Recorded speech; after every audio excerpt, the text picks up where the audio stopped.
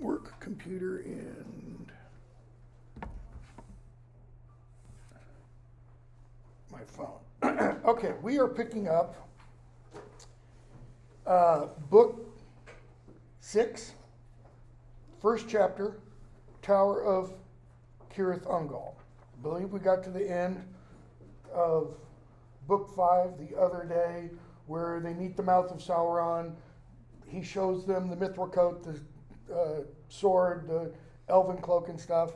Gandalf takes those from him. All hell breaks loose, and the chapter ends with Pippin. What's the phrase I want? Being fallen on by a troll. I, I can't think of another way to describe that and hearing the eagles are coming, the eagles are coming, and he thinks, no, that's Bilbo's story. My story is coming to an end. Um, very briefly, I uploaded the other day, I don't remember when, uh, a revised syllabus. I emailed it to you also. So Thursday, because we're come hell or high water, we're done with Lord, Lord of the Rings today. Um, we're going to do Sorcerer's Stone. Uh, it's going to be like the film version. In other words, we're hitting the highlights and just uh, to get to the end, really. Um, I can tell you right now, a couple of the important chapters. Ooh, I can't tell you off the top of my head. One with the Mirror of Erised. I'm going to spend several minutes on that. Um, Christmas gift, or Christmas at Hogwarts, whatever, when Harry receives some gifts. Um, and then the last couple, you know, through the trapdoor and things like that. Um, so, Sorcerer's Stone, I'm going to call it by its real name, Philosopher's Stone, from here on out. Um, a week from, today's Tuesday, right? A week from today, Chamber of Secrets. I won't talk at all about that right now. And then a week from Thursday, Prisoner of Azkaban. I'm really going to try not to, but we might, again, get a little bit behind with these two. Probably not with this one, maybe with um, that one. And then if I can keep those three on those three days, we should be able to cover everything else fairly well. Okay, Tower of Cirith Ungol. Um, I want to pick up pages 900 and 901. So, Sam has realized, we found out at the end of, this is book six, end of book four, Frodo is alive. He's been captured by orcs. And, you know, in his choices of Master Samwise, he did what he thought he would do. He screwed up, essentially. He didn't literally. If if his assumption was correct that Frodo was dead, he made all of the right choices. Okay? So, beginning 900, 901, actually just a little bit before 900, I think on 899, he takes the ring off and then he puts it back on. Okay? And we're told, bottom of 900. Um, no sooner had he come in sight of Mount Doom burning far away than he was aware of a change in his burden. What's his burden? The ring. As it drew near the great furnaces where in the deeps of time it had been shaped and forged, the ring's power grew, and it became more and fell untamable, save by some mighty will. Tolkien's foreshadowing there. Just as he gave us foreshadowing in the chapter The Shadow of the Past.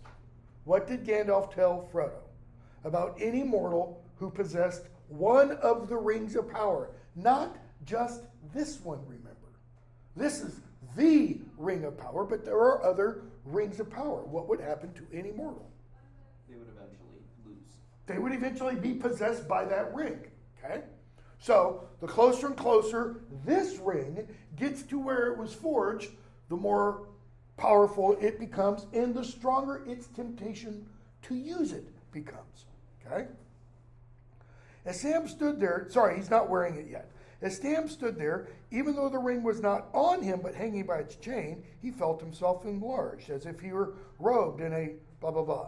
Okay? And so, top of 901, now he has two choices to forbear the ring, not use it, though it would torment him, or to claim it. Already the ring tempted him, gnawing at his will and reason. And notice, again, he's not wearing it. I think the last probably five years or so that I've been teaching this, I've misstated that every time. I've said Sam is wearing the ring when he's having these fantasies. He's not. Wild fantasies arose in his mind. He saw Samwise the Strong, hero of the age, striding with a flaming sword across the darkened land, blah, blah, blah. And he destroys Barad-dûr, and he turns Mordor in his dark fantasies into what? Eden. I mean, he just makes it full of, you know, the fruited plain kind of a thing. In that hour of trial, it was the love of his master that helped most to hold him firm. But also, deep down in him lived still unconquered his plain hobbit sense. What is his plain hobbit sense? Tolkien tells us after the colon. He knew in the core of his heart he was not large enough to bear such a burden. His plain hobbit sense was essentially what? I'm just a nobody. This, this is above my pay grade. You know, this is not for me. Even if such visions were not a mere cheat to betray him, that is, even if those visions were real. That's what that line means. If even if such visions were not a mere cheat to betray him, even if the ring could enable him to do all that, Sam says, no. The one small garden of a free gardener was all his need and due, not a garden swollen to a realm. Have any of you been to England before? Nobody. Go sometime. Take a take a study abroad course. Go to London. Okay, you can get you can get scholarships and stuff to help pay for it. You get credit and all that kind of stuff. Could you walk around London? I don't mean the city center, the outskirts of London, the suburbs of London, and you see British homes and such. And what Sam is talking about here is the one small garden, well, that's today kind of what we in America call a yard. They refer to their yards as their gardens. Whether there is an actual garden growing fruits and vegetables or not. If, if it's a green area, it's a, yard, it's a garden. Okay? And most of them, many of them, especially the closer into London you get, they're very small. Like a front yard would be from where I am like this to that wall and to that wall. That would be it. Okay? That's kind of the impression I think that Tolkien is trying to give us. He's talking a very small garden, something that one person can, could maintain without overworking. His own hands to use, not the hands of others to command. Tolkien said in one of his letters, it's the title of a book I have in my office I am, in fact, a hobbit. He considered himself to be like this. Or another way of putting it, he models Frodo and Sam after himself. Okay? So, he goes on and thinks, these are all a trick. He'd spot me and that would be it. So, Sam goes on, and we're going to skip a bunch. What do the orcs do to each other? Kill each other. Kind of works out well for Sam. Okay? Kind of indicates what about orcs? kind of irredemption or irredeemable qualities. Okay, yeah, I mean, we've already talked about that. What else, though? What are they not to each other? Friends. Friends? What else? It's a word we're going to use a lot when we get to these books. Family? Mm, No, not necessarily. Allies? What are fr- you're getting closer? What are friends to each other? Loyal. They're not loyal to, Anyone? but Why do they serve Sauron? Why do they serve Saruman? Because they think it'll benefit them. They're afraid. They're afraid. They're afraid. Because if they don't, what's going to happen? Pain, torture. Okay? So, Sam rescues Frodo. He does have to kill in the end, which one? Gorbag, Shagrat, one of the two. 9 11, he, he lets Frodo he's, know he's there. He starts singing. He hears a noise. He goes up the ladder. He finds Frodo essentially in the attic. In 9 11, Frodo says, exact middle of the page, they've taken everything, Sam. Everything I had. Do you understand? Everything. He cowered on the floor again with bowed head as his own words brought him to the fullness of the disaster, and despair overwhelmed him. Question is Does the despair go away when Sam says, Not everything, Mr. Frodo?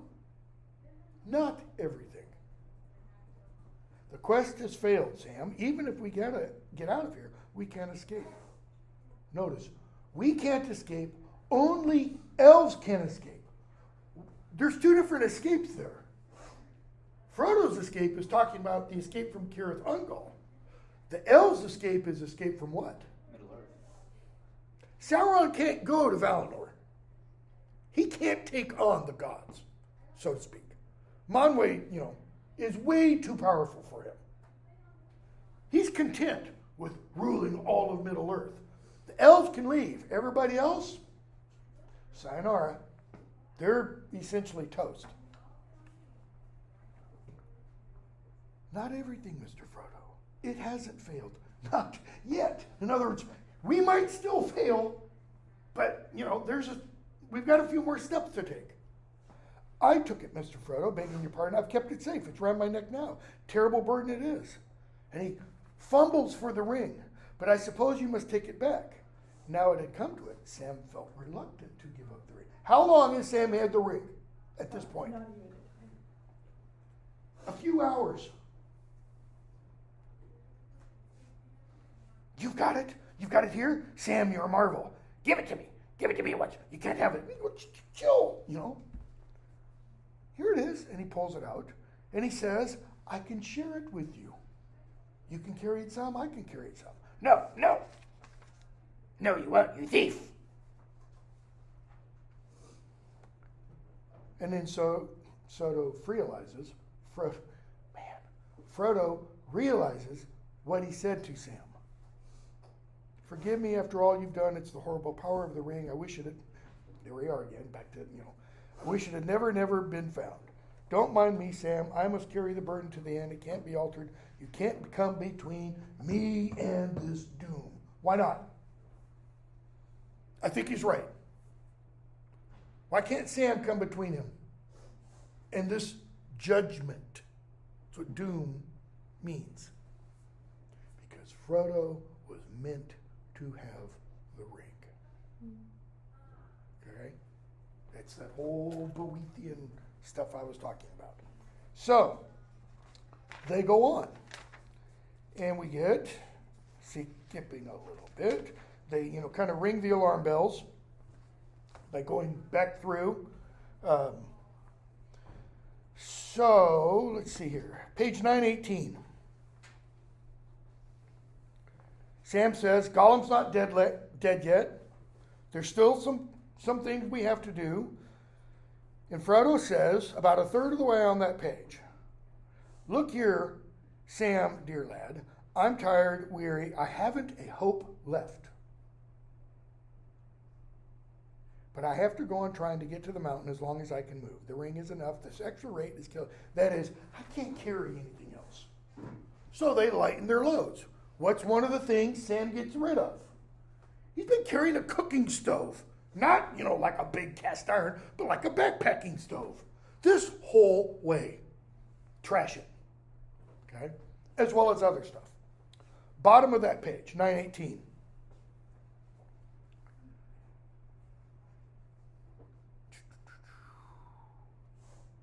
Frodo says, As I lay in prison, Sam, I tried to remember the Brandywine and Woody End and the water running through the mill at Hobbiton. I can't see them now. That is, in his mind, he can't even see these images because he's going to tell us, or he already did. No, it's coming up. What does he see? The spinning wheel of fire. That's all he sees when he closes his eyes. There now, Mr. Frodo, it's you that's talking of water this time. If only the lady could see us or hear us, I'd say to her, All I want is light and water. A little bit of light, a little bit of water. That's all we need. Just clean water, plain daylight. Better than any jewels. And he says, But we're not likely to get it. Okay? So they go on, page 919. We're told it's the morning of the 15th of March, but I want to talk about the passage just before that. Okay? So it's the morning of the 15th of March, over the Vale of Anduin.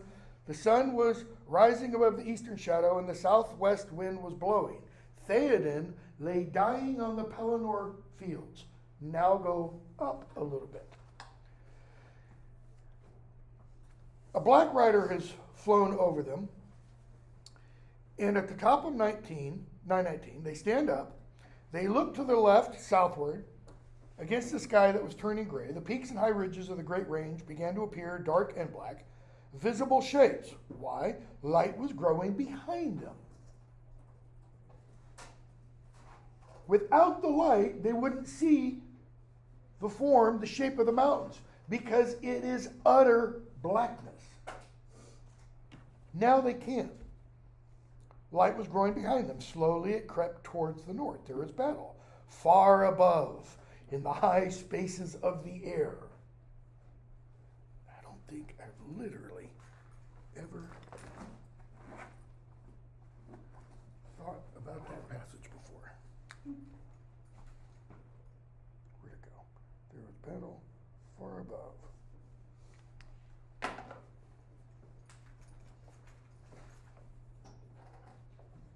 I've mentioned his name a couple of times. He's the chief of the Valar who live in Valinor. Okay. He was the chief of the Ainur. Well, take that back. He and Melkor were the highest of the Ainur, the created supernatural beings, angelic realm, if you want. Okay. Manwë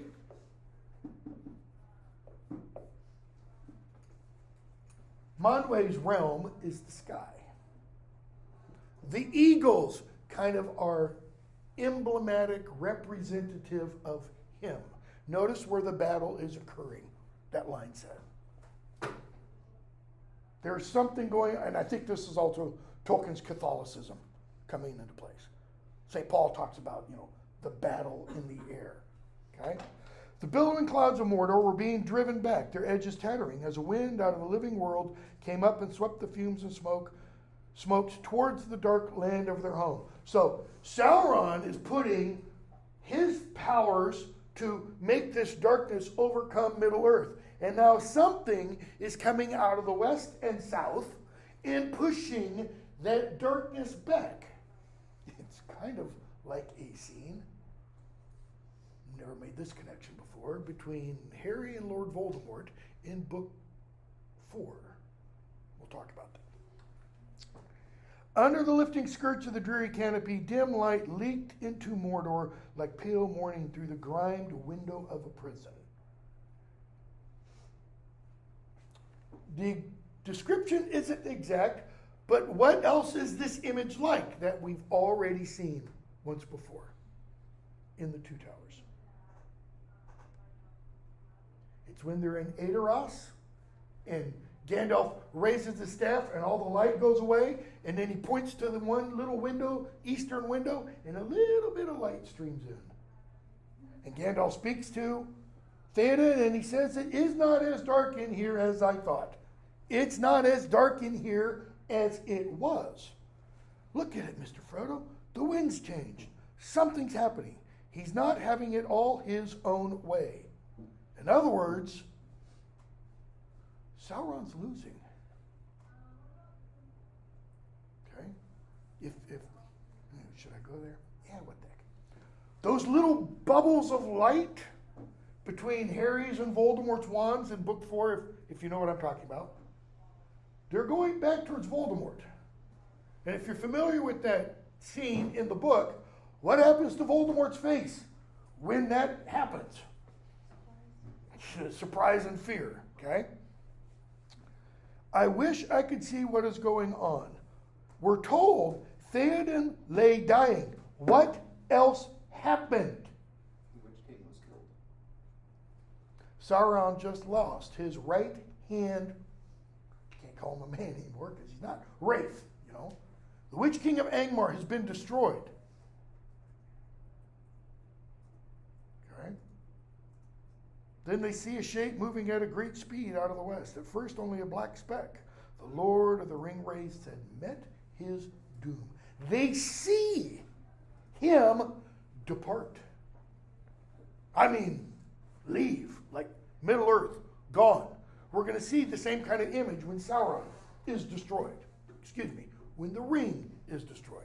We're going to see this giant shadow rise up and then go away. War's going well. Okay? So, what notice? Sam wished for, kind of prayed for, light. He got light. 920. They hear the unmistakable sound of the tinkle of water. Bottom of the page. Sam sprang towards it. If ever I see the lady again, I will tell her, light and now water. And then he says, Let me drink first. What are both those images? The light first and then the water? They are little eucatastrophes. Little moments of grace that they can't expect to happen again. Okay? So, they drink, they go on. We're going to skip a bunch. And if we finish early, we'll go back. Um, chapter 3, Mount Doom. Okay? Bottom of the first page. Sam's standing where he is, and he's looking towards Mount Doom, and he's like, man, that's 50 miles. That'll take a week if it takes a day. With Mr. Frodo as he is, what does he mean? Exhausted, worn completely down. Okay? 50 miles, nine miles a day. They're not as tall as we are. I've done backpacking trips before where we've done anywhere from nine to about 13 miles a day, and this is hiking in the high Sierras. This isn't hiking in the high Sierras. This is like hiking in a volcanic waste field. Okay? Not pleasant. And their legs are like this long. So nine miles a day on little tiny short legs. That's that's quite the haul, right? Never for long had hope died in his staunch heart, and always until now he had taken some thought for their return. But the bitter truth came home to him at last. Sam now realizes at best their provision would take them to their goal. We got enough to get there, but not enough to get back. And when the task was done, there they would come to an end, alone, houseless, foodless, in the midst of a terrible desert. There could be no return. In other words, they would be kind of, kind of. Every analogy, remember, breaks down because it's not the same as the thing you're comparing to. They would be kind of like those women left alone in those homes that Aragorn mentioned to Eowyn when no one was left to return to put on a battle that no one would see or hear about. Frodo and Sam are kind of like that. Even if they achieve the quest, yes, people will know they achieved the quest. they won't know any of the details. We'll just die. So that was the job I felt I had to do when I started to help Mr. Frodo to the last step and then die with him. Well, so be it. But I'd really like to see Bywater again and Rosie Cotton and her brothers. Is this the first time Rosie Cotton is mentioned? Is she mentioned in the chapter about the party or the second chapter? I don't think she is. I think this is the first time that we got any indication that Sam has any kind of romantic interest in anybody. Okay? And the gaffer and Marigold, it, I can't think somehow that Gandalf would have sent Mr. Frodo on this errand if there hadn't been any hope of his ever coming back at all. So, notice, even though Sam kind of comes to this conclusion, we're going to get there and die, is he without hope? No. No, because he still thinks Gandalf probably thought somehow we'd make it back. Things all went wrong when he went down in Moria. I wish he hadn't. He would have done something. Okay? So, even as hope seemed to die in as hope died in Sam, or seemed to die, there's that verb again, it was turned to new strength. Sam's plain hobbit face grew stern, almost grim, as the will hardened in him. And he felt through all his limbs a thrill, as if he was turning into some creature of stone and steel that neither despair nor weariness nor endless barren miles could subdue. Why does the narrator tell us that? Stop it. What is, what is happening to Sam? It's like he's turning into the Terminator or the Energizer Bunny. Pick, pick your image, okay? No matter what, he's going to get to this goal. Okay? That's why stone takes a long time to wear down stone. With a new sense of responsibility, he brought his eyes back to the ground near at hand. Why near at hand? How do you make a journey of 50 miles? Taking small steps. You take a step. How do you stop smoking? You stop that first cigarette. How do you stop drinking? You don't take that drink. How do you stop any kind of vice? By not doing it the next time. Okay? So, they start off again. Okay? They get bundled up. Bundled up's not the right word. Can't think of the word. They march along with some orcs for a while. They ditch them. Page 937. Sam offers to help Frodo carry the ring. And Frodo's like, go away, go away. And then he comes back to himself. Middle of 937. It is my burden, no one else can bear it. It is too late now, Sam dear. What is too late now? For anybody else to help carry the burden? Yes. What else? For Sam to be able to really do any help Okay. by carrying. You can't help me in that way again. I am almost in its power now. I could not give it up. And if you tried to take it, I should go mad. You know, look what Frodo's just admitted. They've still got, it's probably safe to assume, at least 30 or 40 miles still to go. And Frodo has just said, I can't give it up. So why the hell go on? What's he going to do when they get to the mountain? Is he suddenly going to, you know, somehow force himself? The quest has failed at this point. When Frodo says, I could not give it up. And if you tried to, I would go mad. Sam nods. Understand? But there's other things we can, and they lighten their load even more. Okay? Take off their orc clothes and such. They keep going. 940. They get to the base of Orodruin, Mount Doom. And Sam thinks, or says, Now for it, now for the last gasp. He wakes up Frodo, and Sam thinks, I said I'd carry him if it broke my back, and I will. Okay? So he picks up, he says, I can't carry it, but I can carry you in it. What is Sam thinking?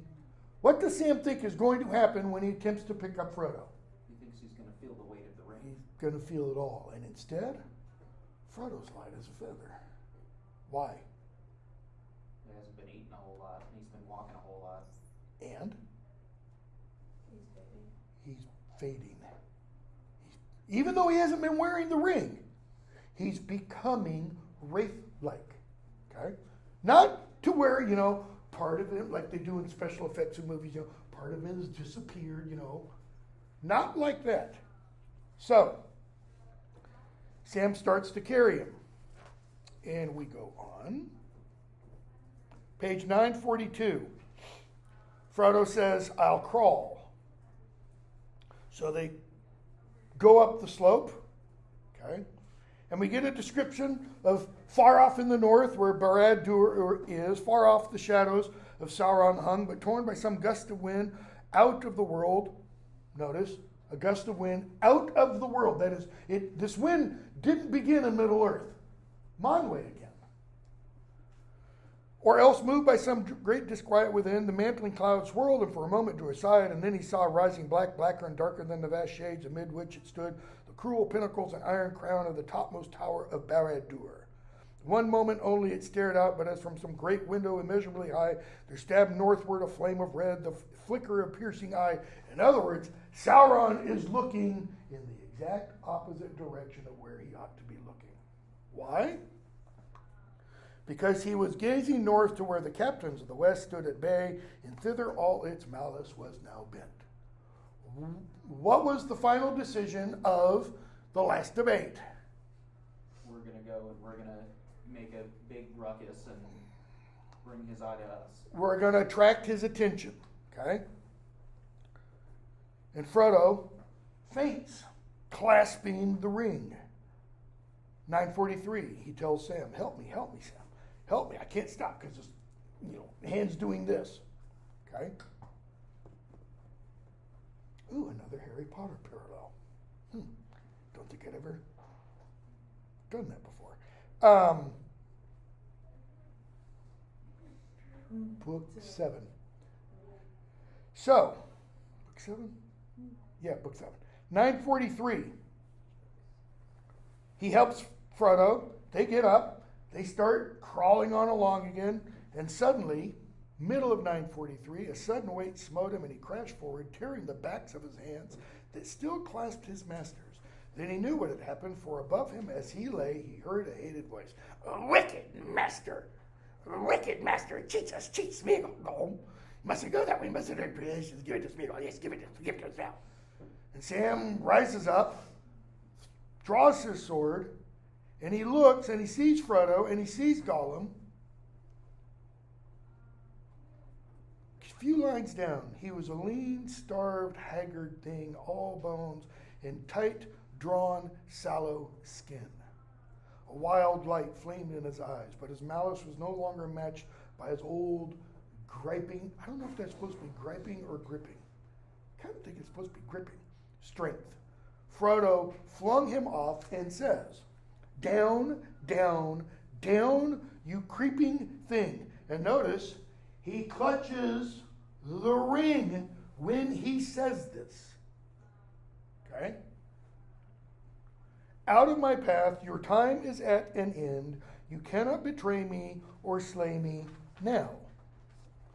Then suddenly, as before, under the eaves of the Emyn Muil, Sam saw these two rivals with other vision, like other vision, like when Legolas and Gimli saw Aragorn when Aragorn announces to the riders his real name, like when Pippin sees Gandalf and Denethor in their steering contest, and he sees the majesty, hidden, veiled, and power of Gandalf. So we have this other vision going on. And what does he see? A crouching shape, scarcely more than the shadow of a living thing.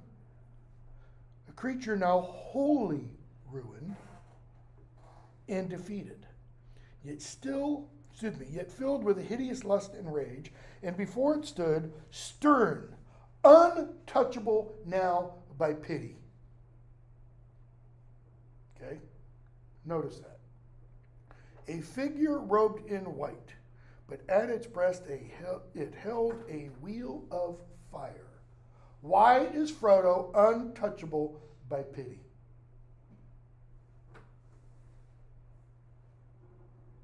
The malice of the ring is more powerful. You know, I've, I've, I don't think I've literally ever asked that question before. Because I don't think I've, ev- I've ever paid attention to that phrase, untouchable now by pity. I, I think it's because he's overcome. He is entirely in the power of the ring at this point. Why do I think that? I, I don't know that that's true. I could be wrong. Here's why I think that. The very next speech, we're told, out of the fire there spoke a commanding voice. Where's the fire? It's the wheel of fire at Frodo's breast. At its breast it held a wheel of fire. Begone, and trouble me no more. If you touch me ever again, you shall be cast yourself into the fire of doom. $64,000 question. Who's speaking? Is this Frodo speaking through the ring? Or is this the ring? What was the promise Gollum swore?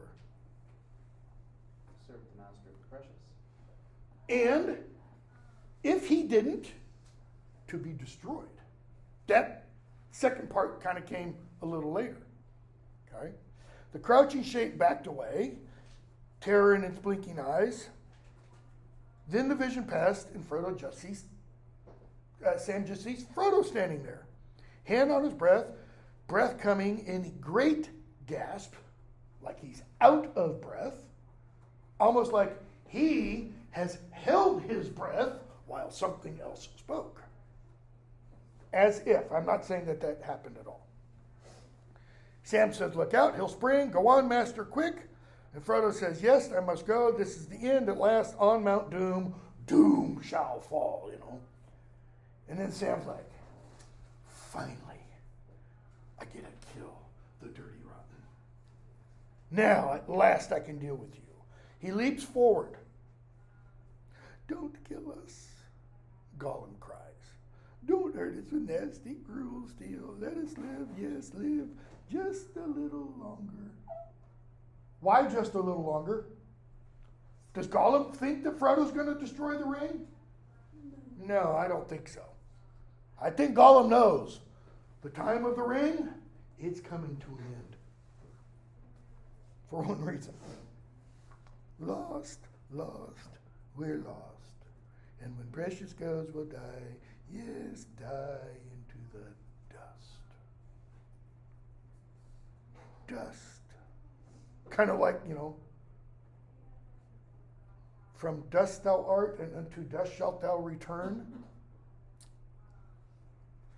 Have any of you read any stories of immortality or seen films and such about immortality? What is one of the thrusts of many of those stories? It's. It's not all it's cracked up to be. It becomes a curse. It is a curse. For most of the stories, those who achieve immortality here eventually come to want to have mortality back. They want to die. In the Silmarillion, death is the gift of Eru Iluvatar to men because of what happens to men after they die in women, humanity. Okay? It's not the gift to the elves or the dwarves. When the elves and dwarves die, when the world is remade, this is all in the summary, when the world is remade at the quote unquote end of time, humanity is quote unquote resurrected. Elves and dwarves, they disappear because they are of the earth. Okay?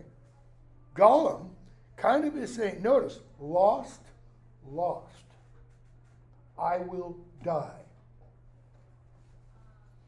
How old is Gollum? Over 600 something. 600 years old. How old should a Gollum, Smeagol, have lived? 70, 80, 90?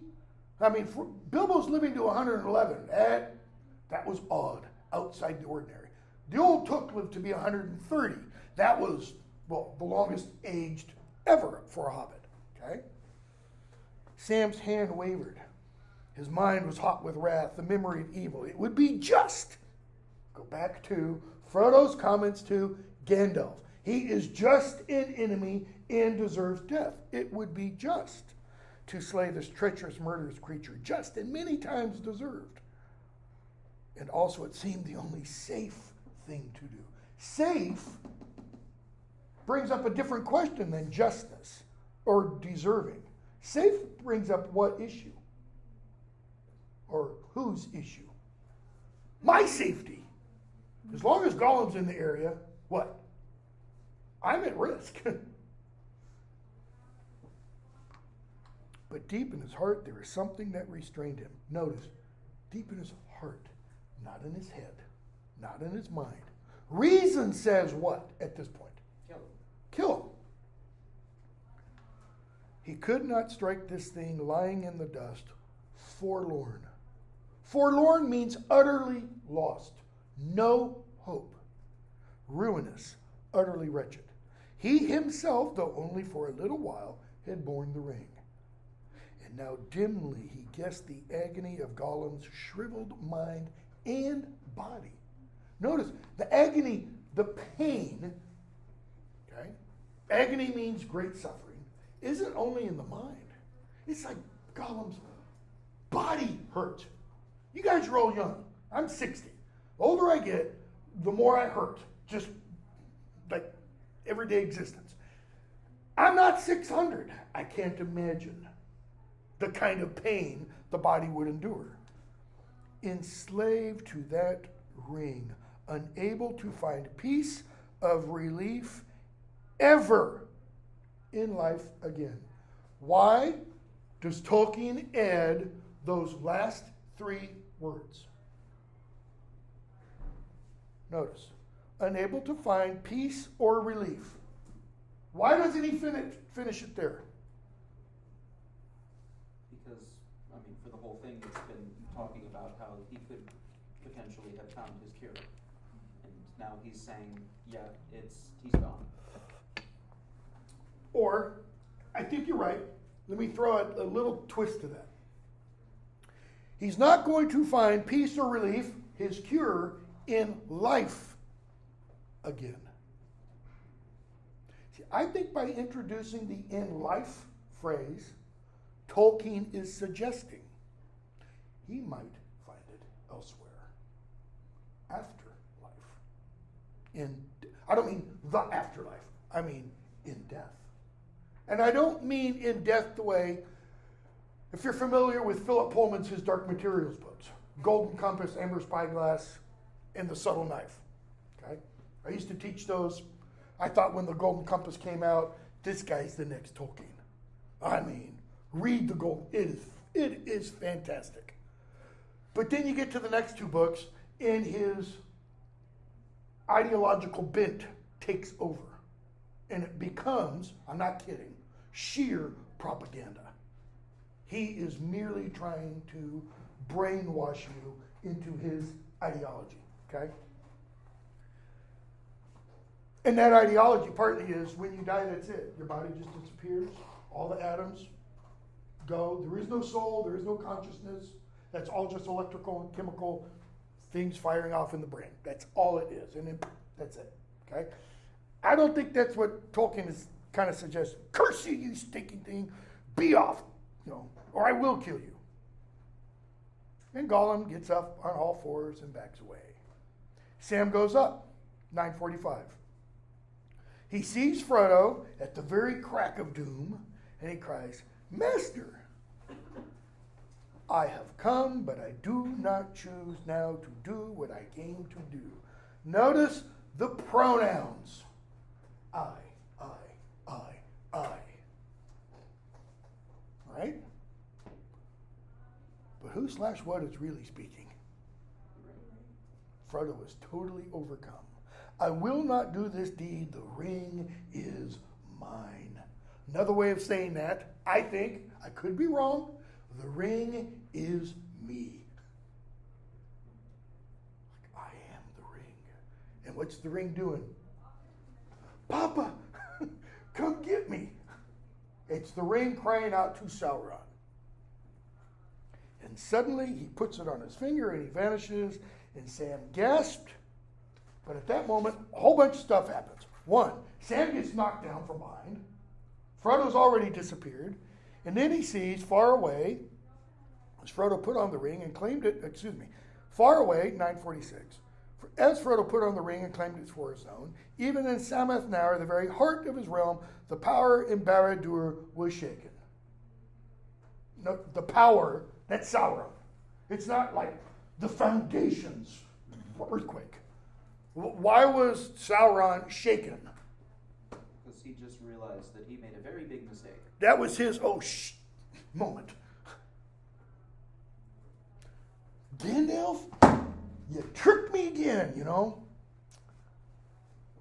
The Dark Lord was suddenly aware of him, his eye piercing all shadows, looked across the plain to the door he had made, and from all his policies and webs of fear and treachery, from all his stratagems and wars, his mind shook free, and what?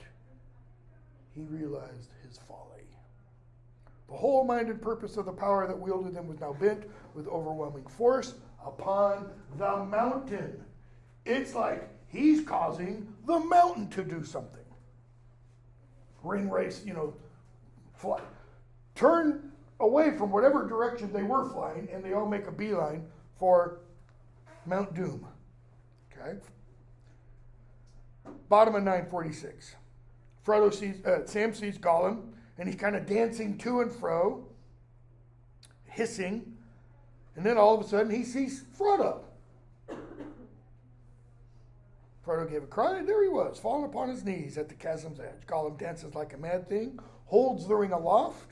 Precious, precious, precious, my precious, oh my precious, precious. Well, what did that ring of fire say? If you touch me again, you will be destroyed. And what did Gollum say? Lost, lost, all is lost. Just a little while longer.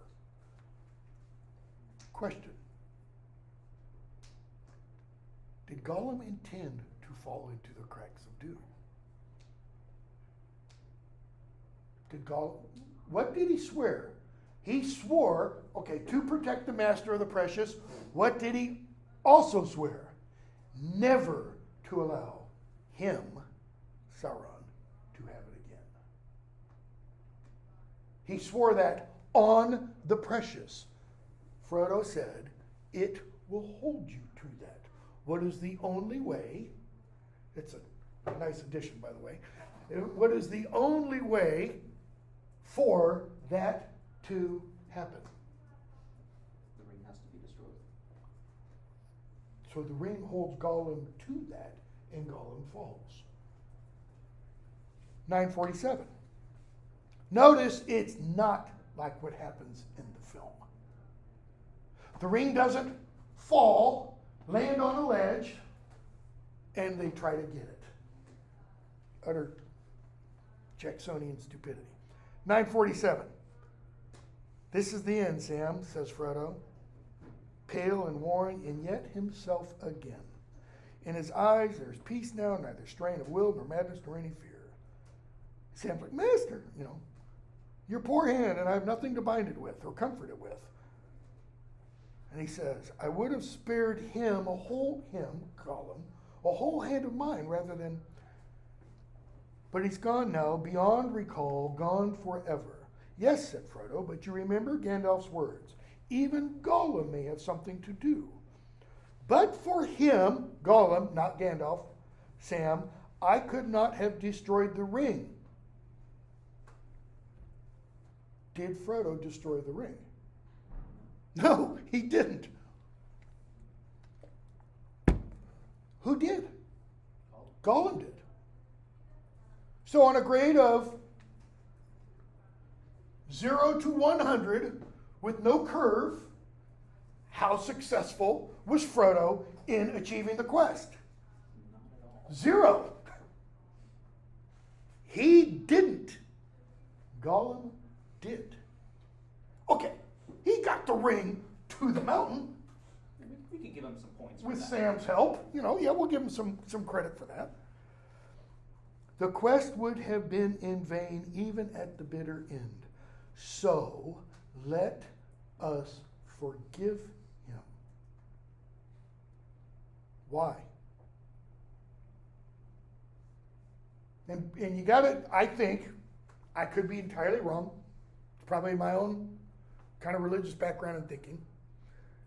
I think when Tolkien writes those words, Tolkien's writing those words from a Catholic Christian perspective.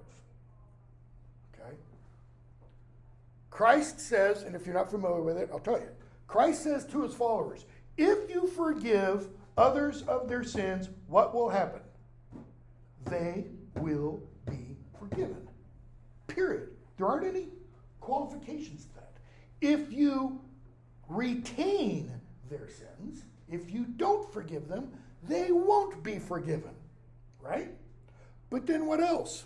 He gives what's called the Lord's Prayer, in which his followers are taught to forgive others. How? Or so. you will be forgiven. If you forgive others, my Father will forgive you. If you don't forgive others, he won't forgive you. Let us forgive him. I think that is Frodo's comment about Gollum, just like Aragorn's call, comment to Boromir about the great victory he achieved. In that he didn't die tainted, he died redeemed. Why? Because he died for somebody else, Merry and Pippin. Here's the, you know, real big question that you could spend a lot of time thinking about. Did Gollum die for somebody else? Or did he die solely for himself? And even if he did die solely for himself, if we go to Catholic theological history and look at somebody like St. Thomas Aquinas' words, whether it was entirely for himself or not is irrelevant. His destroying the ring had positive repercussions throughout the world. By the way, the date of the destruction of the ring, anybody know what it is? March 25th. Within the church, okay, both the church, the Catholic Church, like the Orthodox Church, Protestants don't talk about this at all, really. What is this day? Anybody know? What's nine months later? So, this is Annunciation. This is when Gabriel comes and delivers the announcement to Mary. Where, where does Mary figure in Catholic thought? She's pretty high up there. Okay? She's like, here's the Trinity, and Mary's right there. All right? Tolkien has the destruction of the ring happen on this day, also because he says in one of his letters, the world, according to a 18th century, 17th century, I can't remember, bishop named Bishop Ussher said that the world was created. I think it's like 4004 BC on March 25th. Okay. What does this destruction of the ring inaugurate? The beginning of the old age. The fourth age, the age of us. That's why there aren't any elves around. Well, maybe there are. You can talk to some people in England who will swear on a stack of Bibles they've seen elves the whole nine yards. Okay, aren't any hobbits around anymore? Aren't any dwarves? You know, blah blah blah. Okay. Here at the end of all things, what does he mean? What's Frodo think is going to happen at this point? Why? They don't have any food, they don't have any water, and what's happening with the volcano? Because it is a volcano. It's starting to spew. And Sam's like, well, you know, we don't have to stay here, right next to the erupting volcano. We could go outside this fissure. So they make their way outside. And they get rescued by Gwaihir the Wind Lord. and we get the fields of Cormallen, which we're going to skip most of. Go to the steward and the king. Long passage, uh, so we've got 30 minutes. Long passage beginning on 960 and going through 965 we have the, I I've never called it this, but I will now. And I'll probably call it this from this time forevermore. The wooing of Eowyn. Faramir and Eowyn are confined to the houses of healing. Right? Faramir nearly died. Eowyn didn't nearly die. She was grievously wounded. Okay? And we hear Faramir on page 960 Okay, he's in charge of the city because he's the steward and Aragorn's gone. But even though he's in charge, he has to take the orders of the, you know, doctors always get precedence kind of a thing. And he tells the warden of the houses of healing that the Lady Eowyn is to be allowed out on this like um, patio to take in the air and you know look at the view and all that kind of stuff. And he says, you know, as long as I can come out with you, she's fine. Bottom of 960. She says, How can I ease your care? I, I don't desire the speech of living men. I don't want to talk to you. How can I make your day go easier? He says, You want my honesty? Yes. I say to you, you are beautiful in the valleys of our hills. There are flowers fair and bright, and maidens fair still, but neither flower nor lady have we seen till now in Gondor. So lovely and so sorrowful. It may be we only have a few days left. So, you know, just being in your presence would be nice for me, you know, if you don't mind. He says, We both passed under the wings of shadow, and the same hand drew us back. She says, Not for me. 961. Shadow lies on me still. Look not to me for healing. What's another way of putting that? Look not to me for healing. Look not to me for joy. Look not to me for comfort. I'm not going to make you feel better. Why? I am a shield maiden, shield maiden, and my hand is ungentle. It's kind of like, come on, buddy. You get too close, I'm going to smack you. But I thank you for this at least that I don't have to stay in my chamber. Okay? I will walk abroad by the grace of the steward. So, he tells the steward, you know, the warden, what he has to do. Merry goes to Faramir. They talk a bit. Faramir learns much, etc., etc. Um, Faramir sees Eowyn out on that area I mentioned. Let's see. And just every time he looks at her, he's more enthralled. She reminds him of his mother. Okay. Yeah, Oedipus kind of stuff probably going on there. Um, let's see here. 962. She always goes out and looks in the same direction. So Faramir asks, What are you looking for? Does not the black gate lie yonder? Must he not now be come thither? It is seven days since he rode away. He says, Yes, it is seven days. He says, But I, I don't want the world to end yet.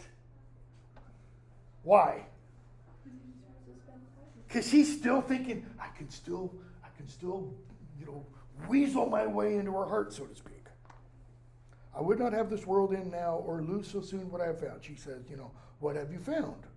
She looked at him gravely, but her eyes and her eyes were kind. I know not what in these days you have found that you could lose. But come, stop talking about that. We wait for some stroke of doom. He says, Yes, we do. Then they don't talk anymore. Okay? And as they stood, their hands met and clasped, though they did not know it, and still they waited for they knew not what. And presently it seemed to them that above the ridges of the distant mountains another vast mountain of darkness rose, towering up like a wave that should engulf the world, and about it lightnings flickered, and then a tremor ran through the earth, and they felt the walls of the city quiver. A sound like a sigh went up from all the lands.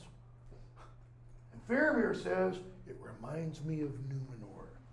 Reminds, not that he was there, because he's not that old but the stories. What would that be like in our world?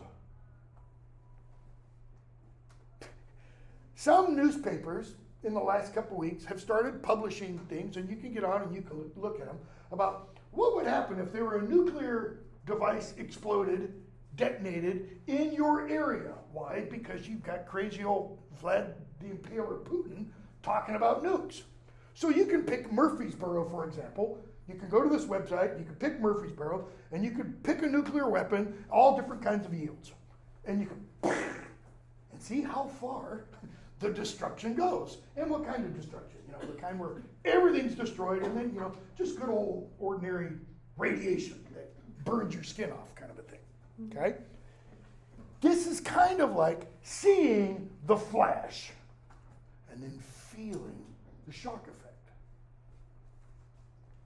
She says Numenor, and he explains what that means. Then you think the darkness is coming. In other words, you think this means the end of the world. Darkness unescapable. He says, No, I do not know what is happening. He says, Something tells me a great evil has befallen, and we stand at the end of days. And then he says, Eowyn, Eowyn, White Lady Rohan, top of 963. In this hour, I do not believe that any darkness will endure. And he kisses her. Okay? And they stand there. And an eagle comes from the west, uh, excuse me, from the east, and cries out, Sauron is destroyed. What is that really? It's little orphan Annie getting up singing, The sun will come up tomorrow. Faramir has something in mind that Eowyn doesn't. He's thinking, yes, more chances to try, you know. 964. He seeks her out again. Okay. Her brother sent word, come to the field of Cormallen. This is where the victors are gathering, you know. And she doesn't want to go, and Faramir doesn't go either. And he says, Why are you staying here when your brother calls you? Remember what Aragorn said? She loves you, Eomer, more than she loves me. Because how does she love Aragorn? It's the idea of Aragorn. Okay? And she says, You don't know why I'm not going? No. Well, there's two reasons.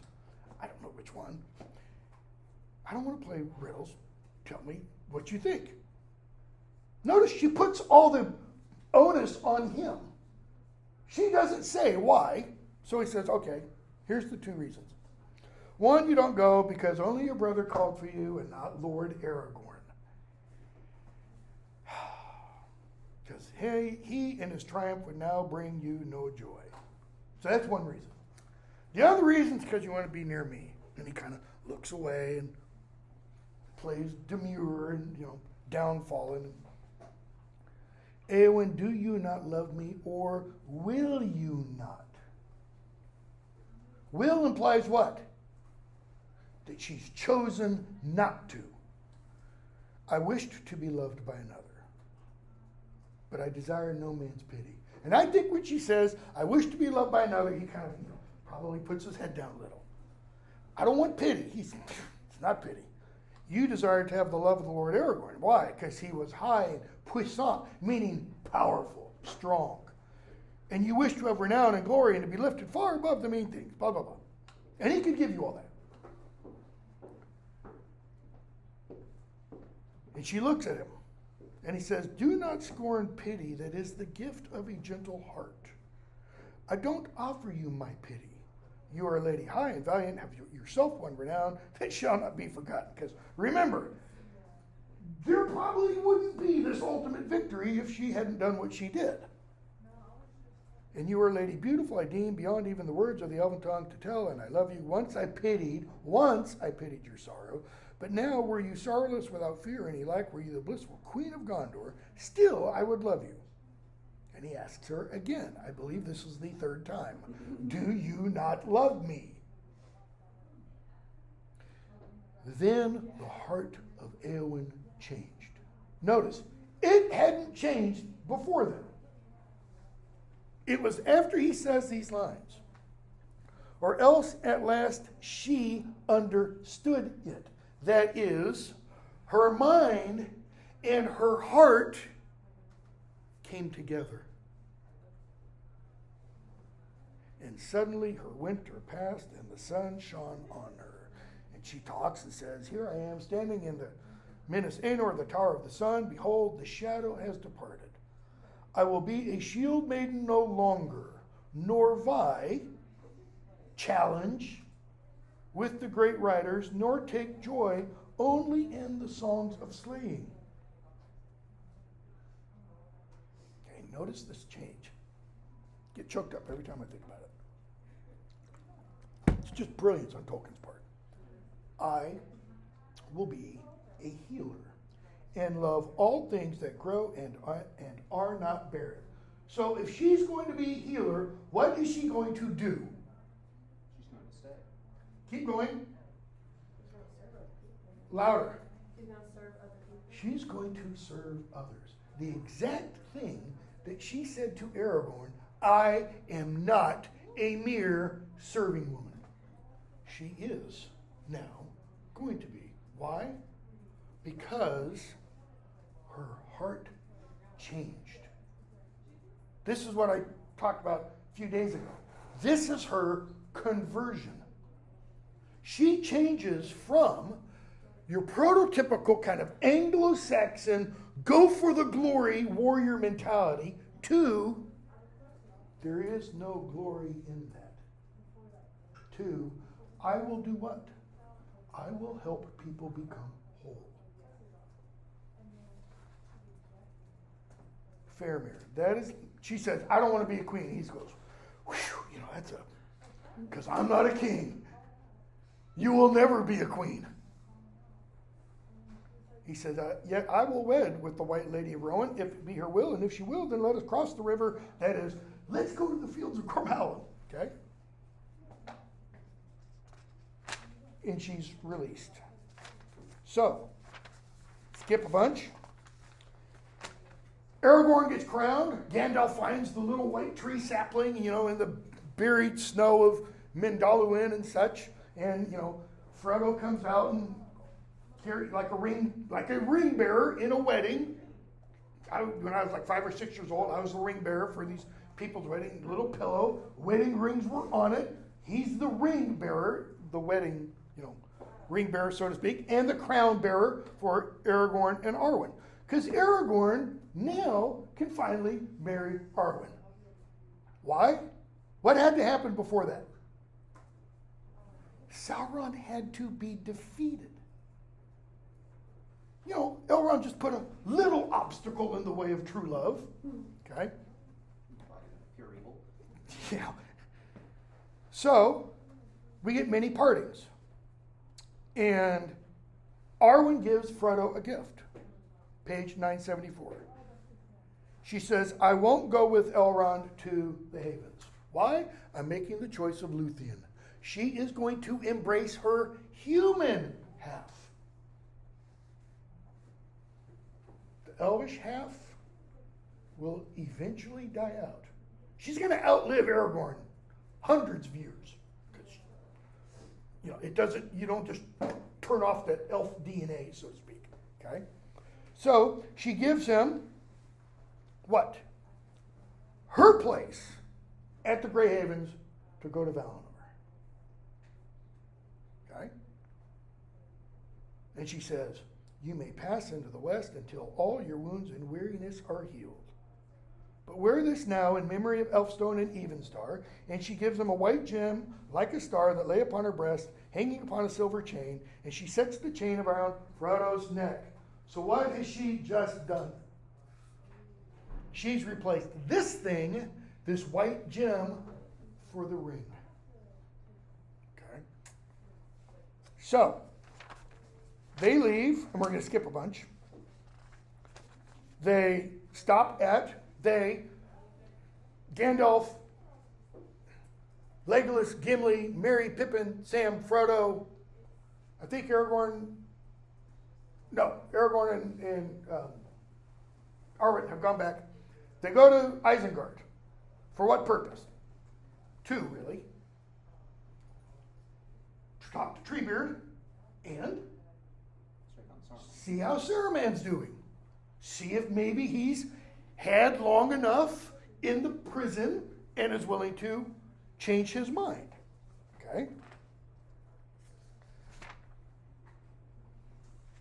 And we find out Treebeard let him go. Why? He didn't want to see him caged. He doesn't like to cage any living thing. You know, he's a he's an environmentalist tree hugger tree. Thing living things shouldn't be encaged. And he says he doesn't have any more power. And Gandalf's like, Yes, he does, Treebeard. And he snookered you. He pulled a fast one on you. So, 983, they run into Saruman. Gandalf asks him, Where are you going? What is that to you? You still order my goings? Are you not content with my ruin? You know my answers. No and no. No, I don't order where you go around. Why? I do not desire mastery. And two, I don't want you to be ruined. The king has taken on the burden, he says. If you had waited or thanked, you would have seen him, and he would have shown you wisdom and mercy. I think that implies, I could wrong, that Aragorn would have said, You are forgiven. I could be wrong. Then all the more reason to have left it sooner. He says, I'm seeking a way out of this realm. Gandalf, you're going the wrong way. In other words, turn around. Repent. If you want to get out of here. So, will you scorn our help? We offer it to you. Gandalf says again, now you have a last chance. Right in the middle of the page, 983. And he doesn't take it. He does say he would like some tobacco. And Frodo says, I'd give you some if I had any. Merry offers him his. Okay? Fair, um, Saruman at this point, Saruman at this point is what? He's a beggar. He's a wanderer. When Frodo says, if I had some, I would give it to you, and then Merry says, I do have some, it's almost like they're giving him alms for a beggar. Okay? Where'd he get it from?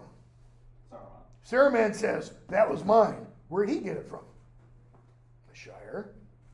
So, uh, Gandalf says he can still do some danger.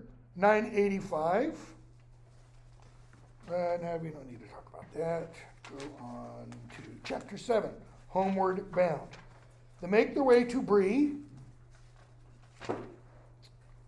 996. Last page of the chapter. And in Bree, they find out what's happening in the Shire. Nothing good. The Shire has been turned upside down. There are roving gangs of men, people have been imprisoned, etc. And they're kind of trying to figure out how all this happened. Bottom of 995, Pippin says, whatever it is, Lotho will be at the bottom of it. Lothville, Lotho, Sackville, Baggins. Okay? Gandalf, yeah, probably, but don't forget Saruman. Right? He began to take an interest in the Shire before Mordor. Merry, yeah, but you're going to be with us. Everything will be fine. Look at Gandalf's response. Always blows me away that Tolkien does this. I am with you at present, but soon I shall not be. I'm not coming to the Shire. You must settle its affairs yourselves. That is what you have been trained. Now, that, to me, sounds like Gandalf is saying, all the adventures you've been on over the last year, several months, are all for one purpose to prepare you to go back and do what needs to be done. Okay? Keep in mind, what are Merry and Pippin at this point? Merry is a knight of Rohan, Pippin is a knight of Gondor. What else about them? What's changed with them in the last year? They're a lot taller. They're a lot taller because they've been drinking the Ent draft, Ent beer, you know. What else? Is Pippin the flighty, you know? Not anymore. They've both been through battle and have changed because of it. Do you not yet understand? My time. It is no longer my task to set things to rights, nor to help folk to do so. Why? Why was he a steward and for how long or when did his stewardship end? He was there to fight Sauron. The wizards, their entire purpose is to be a counterweight to Sauron. Hmm. Sauron's gone. Gandalf's not the only one who's going to leave. The other remaining wizards will leave also. He says, No, time for you. You're grown up now. Grown indeed very high. He says, What am I going to do? Oh, I'm going to have a talk with Tom Bombadil. A talk like I haven't had, he says, in all my time. Kind of interesting because Gandalf's been around for thousands of years, and I think he's probably going to go, Who are you, Master? And I have no idea what Tom's going to say. Then we get the scouring of the Shire.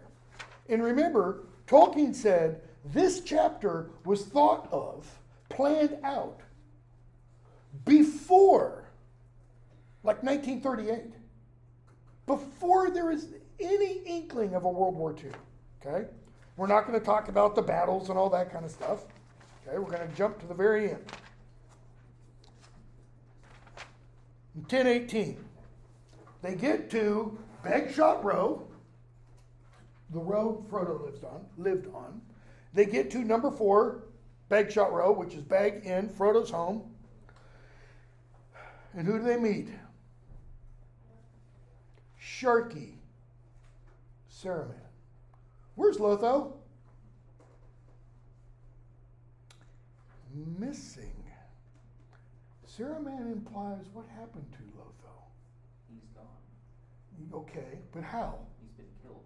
Keep going. And Wormtongue was hungry. Mm-hmm. Ew. He implies Wormtongue ate him because of being so hungry. Okay? So, 1018, Frodo says, You can leave. Not going to hurt you, etc. 1019. The hobbits want to kill him. Frodo says, uh, Saruman says, Kill him, kill him if you think there are enough of you. You cannot touch me, etc. And Frodo says, Don't believe him. He has lost all power save his voice, etc. Saruman calls Wormtongue out, says, Come. What does Frodo offer Wormtongue? Mercy. He says, You don't have to go with him. You haven't done anything to. You haven't attempted to do anything with me or to me. And that's when he says, Oh, really? Where is Lotho? Okay, that's not to Frodo personally, but Lotho is what to Frodo? Cousin. Remember up here that fourfold ethic? Duty to Lord, duty to kin, duty to avenge one's Lord and kin. He's kind of got a duty to avenge. Saruman tar- tries to stab Frodo, 1019. Sam stops him, and Frodo says, Do not kill him even now, for he has not hurt me, and in any case, I do not wish him to be slain in this evil mood. Frodo doesn't say, I do not wish him to be slain. Do not be too eager to deal out death in judgment, Gandalf said. He was great once of a noble kind that we should not dare to raise our hands against. Frodo is saying, we don't have the right. It's not our right to pass judgment on one such as him. He is fallen and his cure is beyond us. But I hope he finds it. Notice the transformation of Frodo from the second. Oh, I never. is it really? Yes, it is. From the second chapter of the first book to the second to the last chapter of the last book. Notice the parallelism. He deserves death too. I hope he finds his cure. Saruman, you have grown, halfling. You have grown very much. You are wise and cruel. Question? Uh, I was gonna ask if, since he's no longer a wizard, if he will leave with the wizards or if he's stuck. No, he's stuck. Because Gandalf cast him from the order. So he'll have to live out his days, you know. He says, wise and cruel. He takes for cruelty what Frodo offers as mercy. What's he want? There's a phrase to kind of describe this. Frodo's not a cop. Suicide by cop. He wants to be killed, I think. And Frodo says, no, make him live. Okay? Who kills him? Wormtongue. Wormtongue does. And then Wormtongue's killed. What happens to Saruman? Kind of like when Obi Wan Kenobi gets killed, you know, there's just the cloak because the body disappears. Why? Because he's not like us. He's not one of us. Okay? Grey Havens. Page 1025. Sam comes into the room, and Frodo's sitting there in pain and says, I'm wounded. Wounded, it will never really heal. He gets up, turns him to pass, he's fine the next day. Sam remembers, oh, yesterday was October the 6th. Two years ago, what happened to Frodo on October the 6th? He got the stab wound from the Dark Lord, from the um, Captain of the Nine. So, the ring is destroyed, Sauron is destroyed, but Frodo still bears the wounds.